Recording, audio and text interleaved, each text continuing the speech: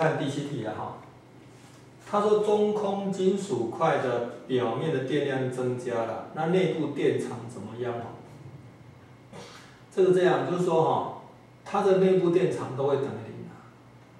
哦，就是说那个导体内部了，应该这样讲哈。它既然说中空，我们就说中空好。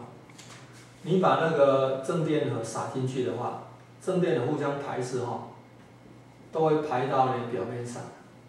那因为它是球对称的哈。所以它这个电荷密度不一定是均匀的，不过无论如何的话哈，这个导体里面的哈，它的电场都会等于零的。啊，你再把这个电荷增加的话，这个电荷只会增加到导体表面上，里面的电场还是等于零的。所以它里面的电场呢是不会变的，而且是等于零的。所以答案应该选 D。